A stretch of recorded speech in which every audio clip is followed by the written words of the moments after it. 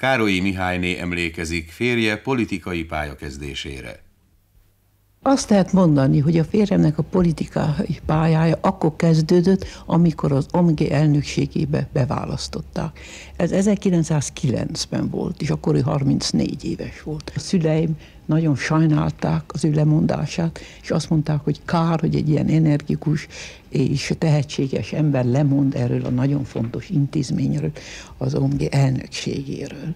Az oka, hogy lemondott, az Tisza volt ott azok az események voltak, amik a parlamentben lezajlottak. Mikor a ellenzéket, a 48-as pártot a rendőrséggel Tisza kivezetette. A férjem hallotta, hogy ez valószínűleg történni fog, és ezért elment meglátogatni Tiszát, megkérdezett tőle, hogy igaz-e, hogy ő erőszakkal akarja letörni az ellenzéket.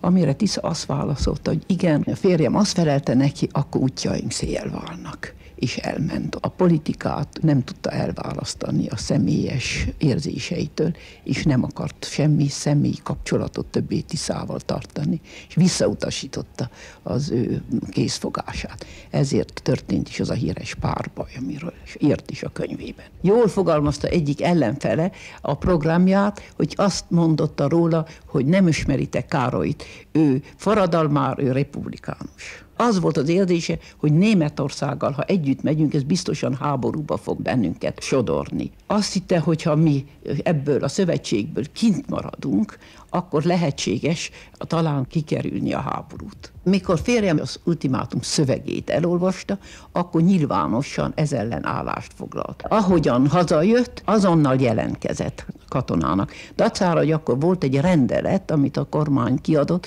hogy azok a földesurok, akiknek nagy földjeik vannak, azok maradjanak otthon, mivel férjem nem sokat törődött a saját vagyonával, az volt az hogy ez egy nagyon antidemokratikus törvény, és ezért ez ellen akart protestálni azzal, hogy ő elment a frontra akkor ismerkedett meg a magyar néppel igazán, mert együtt voltak a lövészárokba.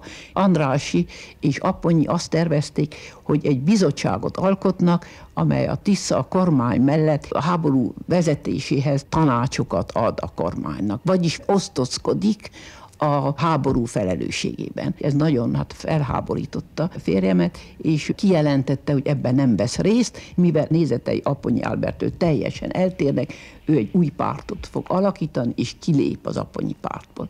Akkor ő azt hitte, hogy csak egyedül lép ki, és nagy meglepetésére 20 kiléptek vele együtt, és megalakították a békepártot, a Károly párt, ami igazában a békepárt volt. Azért is akart ezt a békepártot, hogy abban az esetben, hogyha Németország nem is akarna békét kötni, akkor a monarchia vagy Magyarország külön békét köthessen, és kiléphessen a háborúból, mielőtt késő.